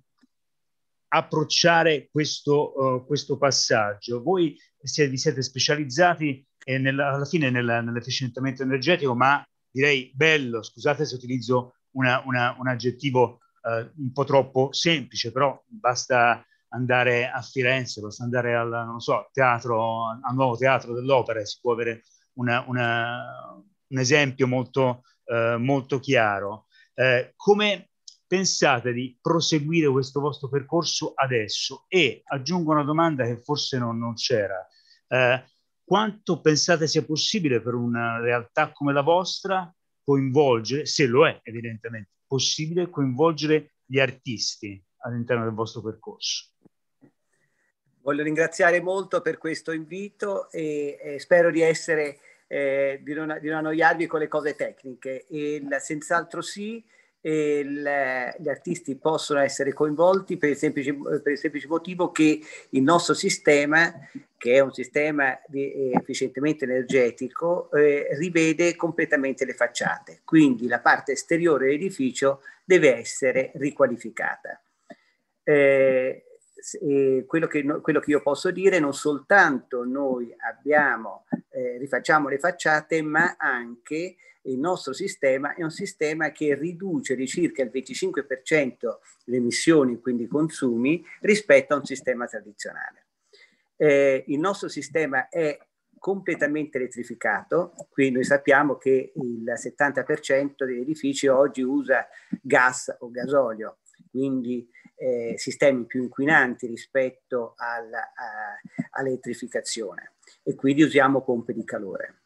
E il nostro sistema come funziona? Cerco di, eh, di dirlo molto velocemente. è un sistema che ripensa completamente il modo di riscaldare e raffreddare edifici. Noi sappiamo che gli edifici li riscaldiamo e li raffreddiamo riscaldando il volume interno del, dell'edificio. Il mio sistema invece, che è stato anche brevettato, semplicemente siccome eh, dobbiamo andare ad applicare alla facciata il coibente, il coibente invece di applicarlo, a, appiccicarlo alla, alla, facciata, lo teniamo a una distanza di circa 10 cm. Questo vuol dire che vado a creare un intercapedine. Questa intercapedine avrà una, una tubazione all'interno, in basso e una tubazione in alto alla facciata e sparerà dell'aria che d'inverno sarà intorno ai 40 gradi e d'estate invece sarà intorno ai, ai 14-15 gradi. Questo permette di poter riscaldare il muro. Il muro eh, cresce di un grado ogni 10 ore, quindi è un procedimento lentissimo, ma a impianto spento decresce di un grado ogni 10 ore. Quindi ci permette di andare a far funzionare le pompe di calore quando è più conveniente. Facciamo un esempio, d'estate eh, raffredderemo i muri e li porteremo a 23 gradi e durante la notte, che, eh, perché durante la notte io vado a prendere eh, l'aria è a, magari a 20 gradi rispetto al giorno che è 35. Quindi lo sforzo per raffreddare eh, l'acqua è nettamente inferiore eh, rispetto al, a, a, usarlo durante il giorno. Mentre per quanto riguarda l'inverno, l'impianto funziona durante il giorno che magari ho 10 gradi rispetto alla notte che ne ho 0. Il, Cosa vuol dire questo? Che quindi l'impianto rimarrà spento e con questo sistema io ho circa un 25% di efficientamento energetico rispetto al sistema tradizionale. Non solo, ma i vantaggi sono enormi per la qualità della vita all'interno dell'edificio, perché immaginiamo che l'edificio diventa tutto radiante, quindi non ho il rapporto diretto con la, con la, con la fonte di calore o di raffreddamento, e sappiamo, sistema Francoil eh, spara l'aria a 38 gradi d'inverno e a 14 d'estate, quindi eh, lo, eh, può dare molto fastidio. Ma uno degli argomenti più forti è l'umidità. Noi non conosciamo l'umidità degli edifici, eh, è incredibile se si parla di appartamenti che stanno intorno alla media dei 100 metri quadri, eh, sia perché facciamo le docce, sia perché le persone più comunità, sia perché scorriamo la pasta, morale, c'è un'umidità incredibile dentro gli edifici. Chi prende l'umidità è il muro, per cui di conseguenza se io vado addirittura a coibentarlo, quindi appiccicarci dalla parte esterna il coibente, tracolla il coibente e addirittura non è più traspirante e quindi restituirà questa umidità continuamente. Nel nostro caso invece avendo l'intercapedine andremo a controllare questa umidità e quindi di conseguenza la qualità dell'umidità all'interno dell'edificio sarà come, come deve essere, come è stata programmata. Ancora, immaginiamo le polveri. Il sistema Francoil un motore fa girare l'aria velocissimamente all'interno dell'edificio. Eh, possiamo pensare ai batteri, eccetera, eccetera. Invece nel nostro caso abbiamo detto che facciamo un decimo di grado ogni ora, quindi è lentissimo il procedimento, quindi l'aria all'interno è ferma e quindi le polveri sono più pesanti e rimangono a terra. Quindi diciamo cosa, cosa accade? Abbiamo eh, inventato un sistema che eh, praticamente non soltanto eh, migliora la qualità della vita all'interno, ma eh, rimodella completamente il, eh, il, modo di riscaldare e raffreddare, che è molto importante perché noi pensiamo sempre al caldo, ma è fondamentale anche il freddo, quindi noi facciamo sia il caldo che il freddo e quindi andiamo a, a, ri- a rimodellare le facciate. Tenete conto che eh, il nostro sistema, eh, eh, se, va, se vado a utilizzare il fotovoltaico e se l'edificio non è di grandissime dimensioni, lo posso mettere sul tetto. Eh, noi siamo una classe A migliorata del 25%, se sono aiutato anche dal fotovoltaico posso pensare di arrivare alla classe passiva, quindi di andare nella direzione degli accordi di Kyoto. Quindi eh, la, è, eh, è, un po' la logica del, del, nostro sistema, è un sistema che eh, eh, siccome dovremmo rifare le facciate, eh, assolutamente il, gli artisti possono eh, contribuire eh, in modo straordinario. Pensate addirittura che con la società svizzera abbiamo messo a punto un sistema eh, di ehm, fotovoltaico per facciate, quindi immaginate che noi abbiamo una sottostruttura che tiene a distanza il codente. La stessa sottostruttura tiene anche il fotovoltaico in facciata e quindi gli artisti possono bizzarrirsi a creare opere d'arte all'esterno. La facciata fotovoltaica è molto interessante perché voi sapete che il sole eh, eh, durante l'inverno è basso ed è il momento in cui eh, più si ha necessità di temperatura, perché l'estate il fotovoltaico funziona molto bene, ma d'inverno meno, e quindi di conseguenza, avendo il sole fa- eh, basso, la facciata eh, viene colpita e quindi l'efficienza del, del, del fotovoltaico migliora. In più, eh, immaginate se si va in zone dove nevica, sul tetto la neve, se, se nevica magari per 3-4 giorni uno, eh, l'impianto non funziona, deve andare a togliere la neve, mentre in facciata questo problema non c'è e rimane sempre perfettamente pulita. Quindi, diciamo, abbiamo pensato un sistema che eh, in qualche modo va in direzione degli accordi di Kyoto e può riqualificare, oltre a ridurre le emissioni drasticamente eh, per, la, per, la, qualità della vita delle persone all'interno dell'edificio. È chiaro che questo sistema è più facile applicarlo nelle periferie che nei centri storici, perché siccome andiamo a toccare la facciata, sapete bene che i palazzi storici spesso sono, la sovrintendenza impedisce di eh, mettere coibenti o, o rivedere le facciate. Quindi eh, ringrazio ancora Prato perché con Prato abbiamo iniziato un, un percorso e speriamo di completarlo grazie anche molto a Mario e a Lorenzo, oltre a Berberis. Grazie a Guido Poccianti. Facciamo adesso un triplo salto carpiato, un avvitamento, perché la domanda per eh, Stefano Pezzato è frutto dell'esperienza che il Centro Pecci ha fatto eh, ormai un bel po' di anni fa a, a Milano, quando, eh, ricorderete, aveva aperto una, una sede, una, una, un centro Pecci eh, bis eh, dentro, dentro, la città eh, capoluogo lombardo. Con il progetto Isola eh, avete al tempo messo assieme eh, critici, curatori, artisti, associazioni di quartiere per difendere in qualche modo eh, lo spazio pubblico attraverso, lo strumento, attraverso lo strumento creativo. Eh, e poi tu in particolare hai anche curato una, la prima mostra al Pecci eh, di Bertes, di Building Philosophy, nel 2009, e poi lo hai coinvolto eh, come curatore di eh, Territoria, nel, nel, nei comuni della provincia di Prato, a Montemurlo, a Cantagallo, a Carmignano, quindi anche quasi in montagna in qualche modo.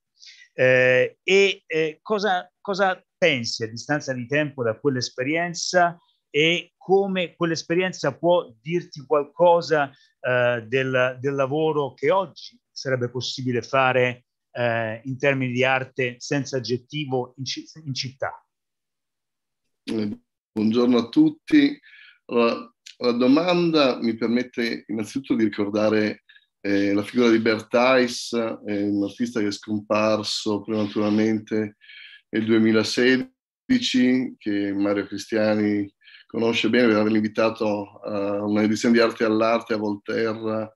nel 98. Bertais è, eh, era eh, un artista della uh, generazione cosiddetta relazionale, che dagli anni 90 in poi eh, si è eh, occupato di eh, relazioni appunto con il pubblico, oltre che con i luoghi, come eh, è solito fare invece eh, è un artista eh, che noi, questo anche mi dà lo spunto di parlare della relazione del museo con gli artisti del museo con, con lo spazio urbano,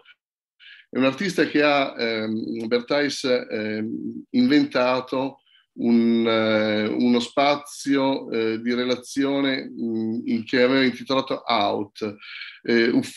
Ufficio per la trasformazione urbana, Office of Urban Transformation, mettendo in connessione, creando un network ehm, interdisciplinare eh, architetti, artisti, sociologi, filosofi, eh, poeti e così via, a, a, ragionare sui problemi e i bisogni di una comunità, di una comunità che era quella del suo quartiere dove operava, eh, Isola eh, Garibaldi a Milano,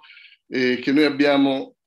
eh, invitato, come diceva Buren, eh, sollecitato a, ehm, a esportare a, a, Prato, a portare a Prato questo tipo di, eh, di pratica, che è una pratica eh, che Bertès in qualche modo ha, eh, ha, aggiornato, quella di un'arte che si occupa di eh, urbanizzazione sostenibile, di politiche ecologiche, di gentrificazione, come è stato detto, di problemi che sono concreti, che sono eh, all'ordine del giorno della vita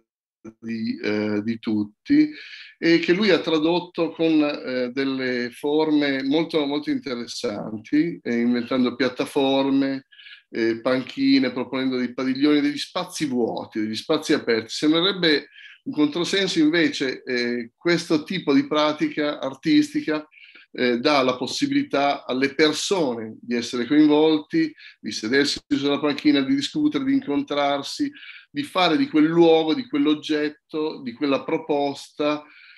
eh, eh, a sua volta il, eh, l'oggetto di un pensiero, di una riflessione, di una uh, creazione. Eh, lo diceva Mario prima, eh, l'arte fa stare insieme e l'artista guida gli altri, è quello che sollecita gli altri a, uh, a pensare, a fare ehm, delle cose. Ehm, eh, anche, anche, l'arte di Buren fa stare insieme, nel senso che il, l'intervento che lui chiama in situ, che sia nel museo, che sia eh, nella piazza, eh, porta il pubblico a, um, a, ad attivarsi, ad essere eh, partecipe eh, del progetto, a rileggere un luogo, per esempio, in forma simbolica, in forma percettiva, visiva, ma anche in forma affettiva. Ecco, eh, la cosa che collega questi, queste due pratiche sembrano apparentemente diverse, quella di Buren e quella di Thais, per esempio, mi sentirei di dire che è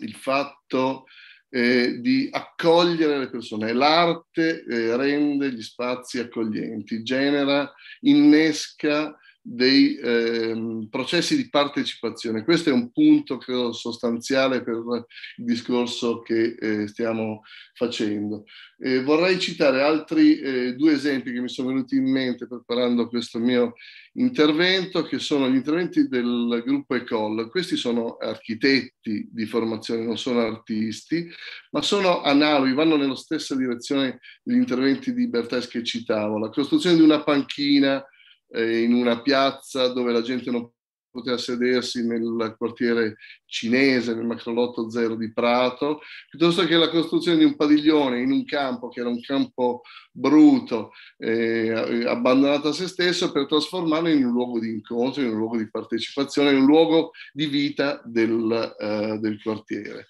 E vorrei ricordare qui, eh, recupero il, uh, il ruolo del museo, se volete, che al PECI abbiamo eh, in archivio eh, i materiali, i progetti di Mario Mariotti, che per vent'anni è stato uno degli agitatori, degli animatori, un attivista come era Bertais eh, nelle piazze di eh, Firenze, in un contesto evidentemente diverso. Donati lavorava con gli artigiani, in una città degli artigiani, eh, costruiva, inventava eh, le feste di piazza a Santo Spirito piuttosto che a Borghi Ognissanti, coinvolgendo centinaia di artisti a livello internazionale, così come faceva Bertais, a livello locale i giovani emergenti e poi le migliori eh, forze produttive anche del tessuto urbano. E questo è, eh, secondo me, lo spirito e il senso di quello che potremmo fare e immaginare oggi con gli artisti e per gli artisti, di far sì che eh, siano dei, col- dei connettori, eh, dei centri di eh, aggregazione e di proposizione, dei, eh, dei, sollecitatori, per usare il termine che è stato eh, proposto oggi. Eh, Mario Mariotti nelle piazze di, eh, di, Firenze oggi, per esempio, potrebbe essere un buon sostituto della movida selvaggia, cioè proporre un progetto eh, culturale condiviso che mette insieme i bisogni, i sogni, i desideri delle persone che ci abitano, di quelli che ci passano e potrebbe contrastare invece eh, l'usura che, eh, a cui le nostre eh, piazze, le nostre città eh, sono eh, sottoposte. Ehm, chiudo con un, uh, un, progetto che abbiamo fatto insieme con il Comune di Prato,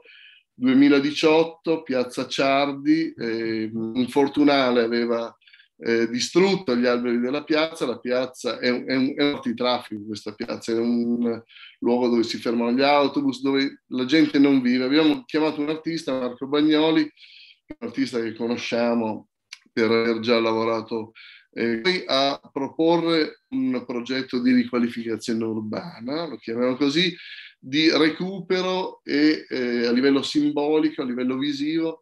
e per far rinascere la piazza. Il risultato lo potete andare a vedere, una eh, grande fontana in forma di mongolfiera che è uno dei, dei segni distintivi della, della, sua arte che secondo me ha fatto sì che la, uh, la, piazza si rigenerasse e prendesse nuova vita insieme ovviamente al progetto architettonico del, uh, del comune di Prato. Credo uh, sia molto importante creare non solo occasioni come questa che ho citato, ma anche coinvolgere le persone che abitano nella piazza, ehm, andare nell'università che stia lì accanto, proporre degli incontri, degli incroci, parlare con le persone, creare dei dialoghi. A questo proposito chiudo, eh, siccome mi avete stimolato prima, l'invito di eh, Buren, vorrei eh, ricordare che Buren ha fatto, eh, ha mh, realizzato una sala personale al PECI in una collettiva dedicata alla città di Sarajevo. Dieci artisti erano stati invitati da Bruno Corà per eh, dare a Sarajevo un segno di ricostruzione dopo i fatti della guerra degli anni, dei primi anni 90. Buren ha fatto un fantastico intervento in situ, pensato per lo spazio del museo dentro, e ha proposto un'installazione di bandiere che poi è andato a Sarajevo come donazione per eh, la rinascita eh, della, della, città. Credo molto al uh, ruolo del museo, il ruolo del museo possa essere questo, creare, generare una connessione dentro-fuori, portare l'artista nella piazza, ma anche invitarlo a presentare il proprio lavoro dentro il museo, perché mh, dentro il museo si eh, legge in modo diverso eh, il percorso che un artista fa, al di là di una singola opera che è sicuramente molto significativa, può trasformare lo spazio, però serve anche eh, creare e generare un, un, contesto. Credo che questo,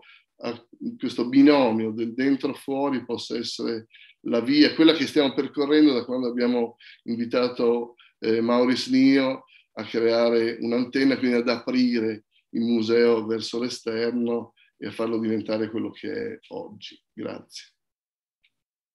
Grazie a Stefano Pezzato anche perché ha ricordato un intervento, quello al Marlotto Zero, che ha, funzionato come un innesco, perché adesso nel luogo dove c'era la struttura, la tensostruttura a cui faceva riferimento progettata da, uh, dai Call, eh, esattamente, esattamente in quel luogo, grazie a un progetto con Regione Toscana di fondi europei del Comune di Prato, c'è una piazza, un playground eh, vissuto eh, fino alle 10 di sera, in questo momento molto vissuto durante il giorno. Io ringrazio tutti, ci vuole un'ultima domanda però, per chiudere l'ultima domanda la faccio a Daniele Buren, ed è, ne, mi ero appuntato molte cose dei vostri interventi, ma alla fine eh, penso una domanda possa essere questa. Nella sua esperienza, eh, di, di, di, di, arte assieme alle città e assieme a chi governa le città, eh, quanto eh, la, la, partecipazione, la collaborazione delle città è stata e dei suoi rappresentanti è stata sincera e quanto è stata frutto invece di eh, vanagloria.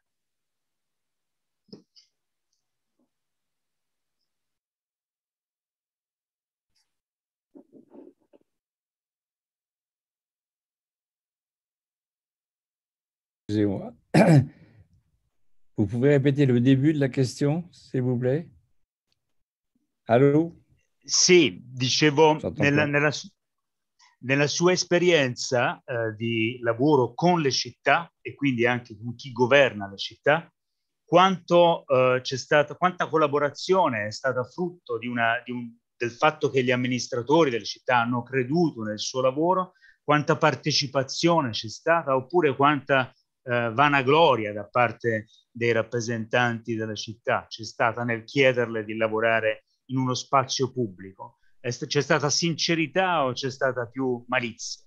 Questo le chiedevo.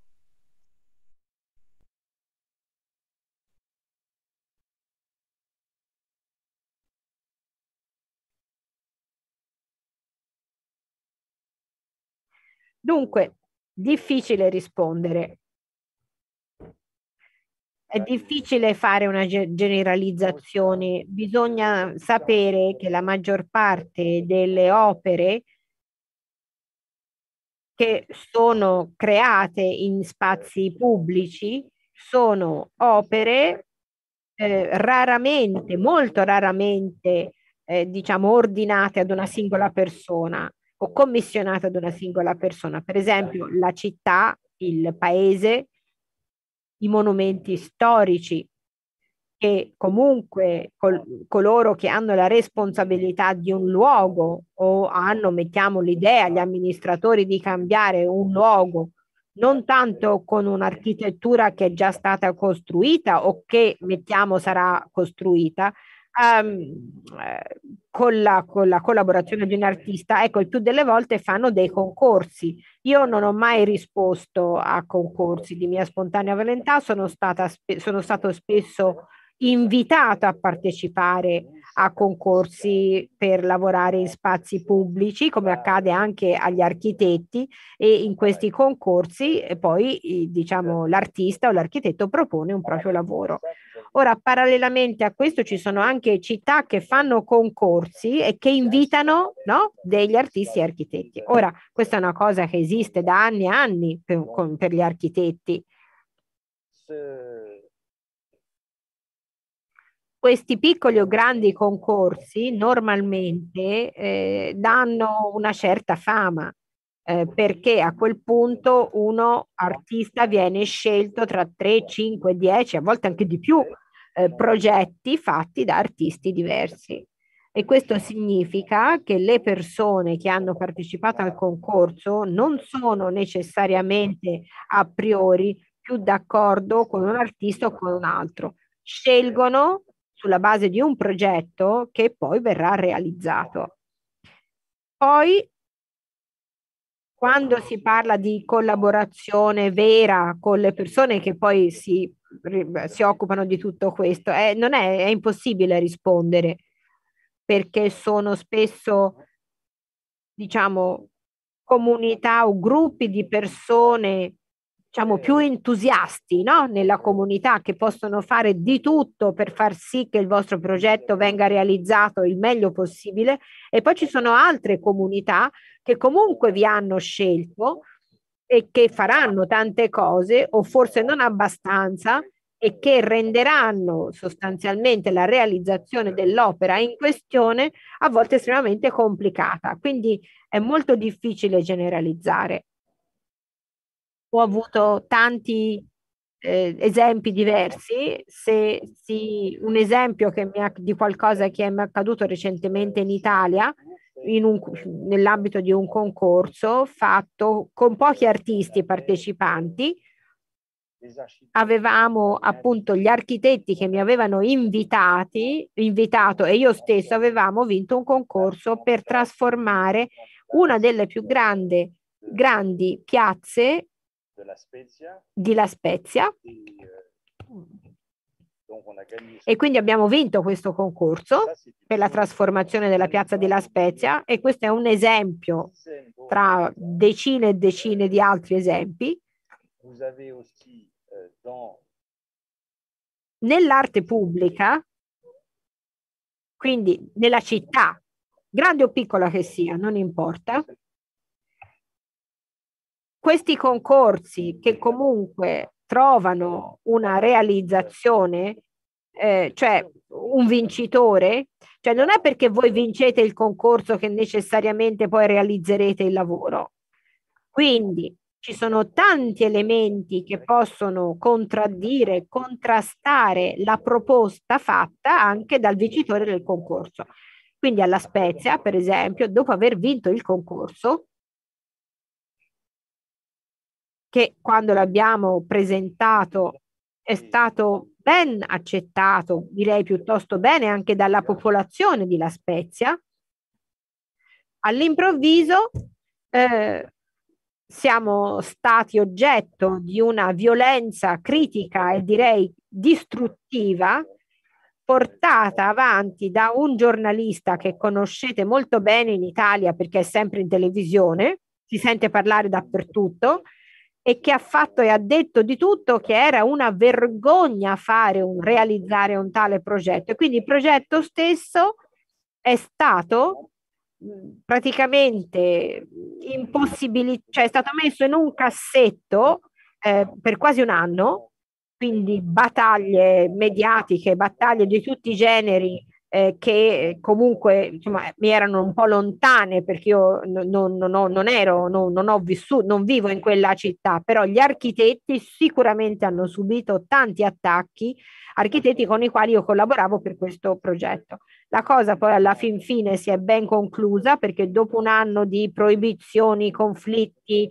ehm, da parte degli uni o degli altri, cioè tutti dicevano la propria per dire che era impossibile realizzare questo progetto, alla fin fine abbiamo avuto il consenso del comune, che poi era stato in primis quello che aveva accettato questo progetto e questo progetto è stato realizzato. Ora è stato realizzato fino a prova contraria, si trova proprio nel centro della città, nella piazza Verdi, ed è semplicemente questo un esempio che mi è venuto in mente adesso, eh, recente, tutto sommato, delle difficoltà incredibili che si possono verificare con rispetto a quello che dicevamo nell'ambito dell'arte pubblica. Quindi per riprendere i miei confronti tra, rispetto alla nozione del pubblico, no? quando siete invitati a lavorare in un museo, chiaramente è una selezione anche degli artisti, anche se non è un concorso. Eh, un ar- gli artisti, non tutti gli, ar- cioè gli artisti che si rispettano vengono appunto alcuni invitati a esporre in un museo. E quindi quando uno viene invitato a esporre in un museo,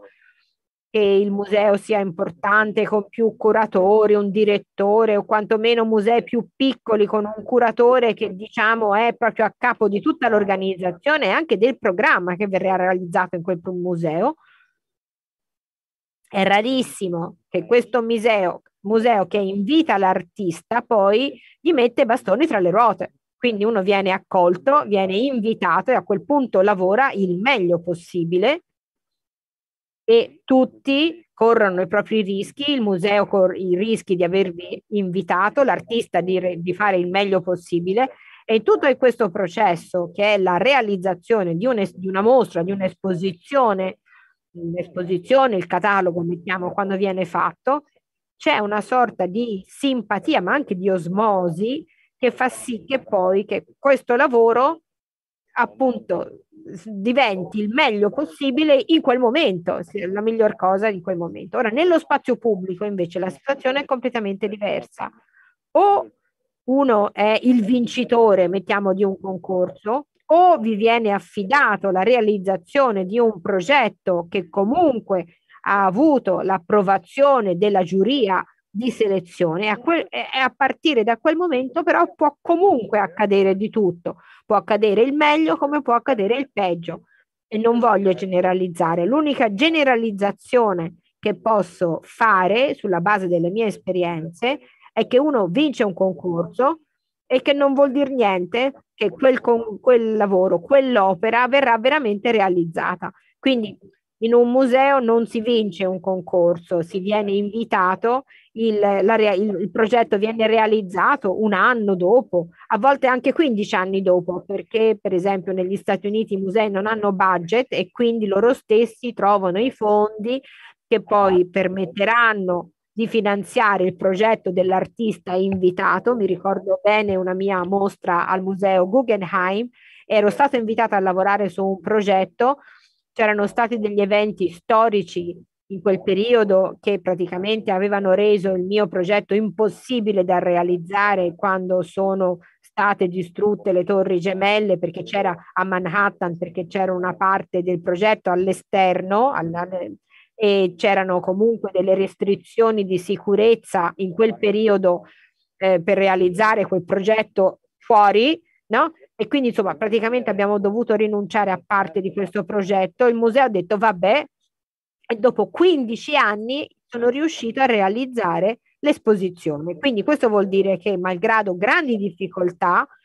eh, diciamo di solito non si aspetta così tanto, a volte si finisce con l'aspettare due o tre anni tra l'invito e la realizzazione,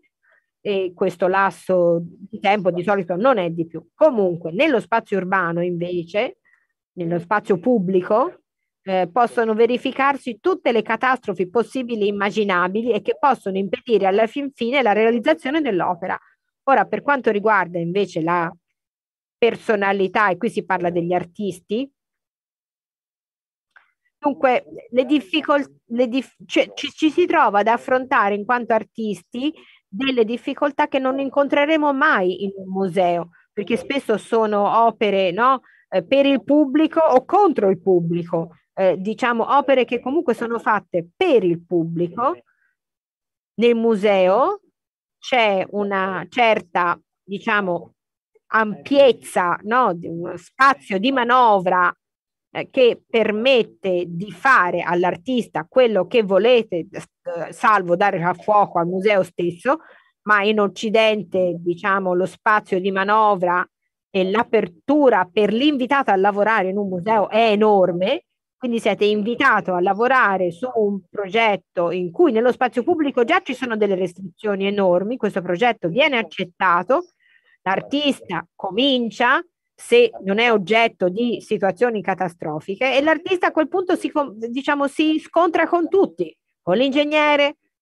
eh, con cose che non sono state dette, che comunque, non so, avvengono nel sottosuolo e che vi impediscono di fare quella cosa nel vostro progetto e poi a quel punto uno si rende conto, ma non si può scavare, allora non posso fare il mio progetto.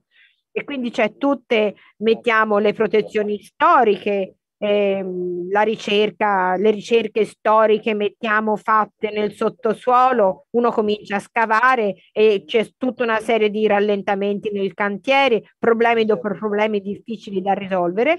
E poi abbiamo anche le cose più, io direi, drastiche nello spazio pubblico, il problema della sicurezza. Arrivano appunto i responsabili della sicurezza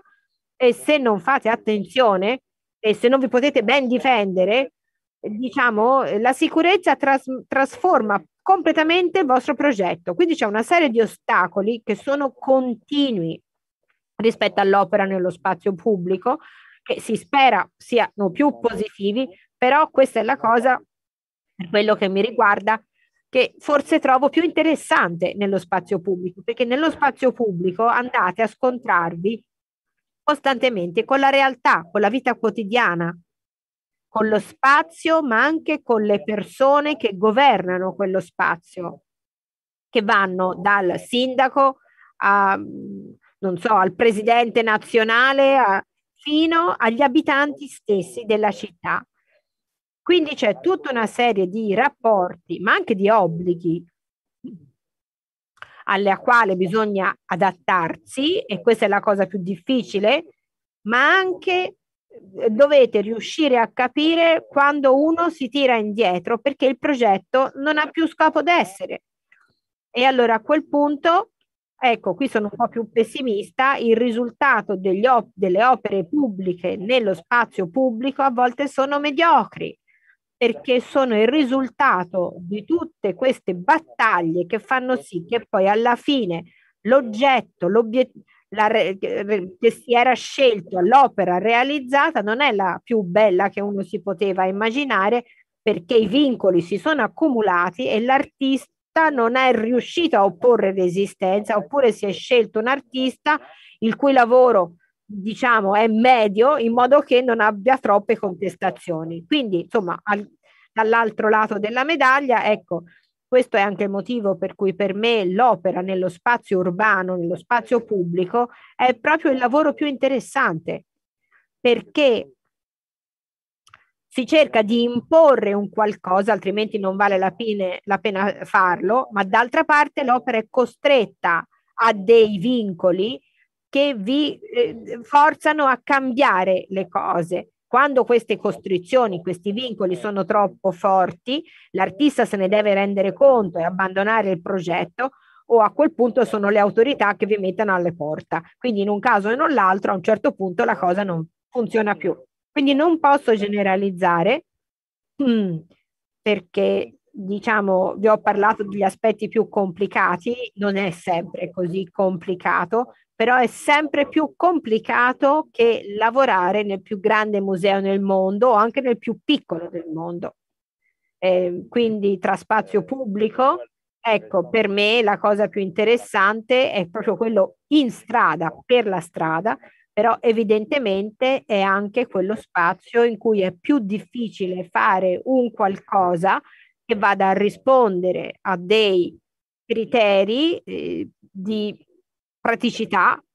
Sono anche quelle opere eh, con degli spazi pubblici eh, che hanno delle caratteristiche che non sono quelle dei musei. Eh, nei musei, eh, diciamo,